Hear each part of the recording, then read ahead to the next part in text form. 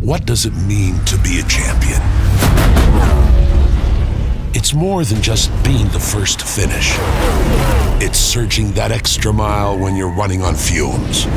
It's overcoming any obstacles your rivals throw at you.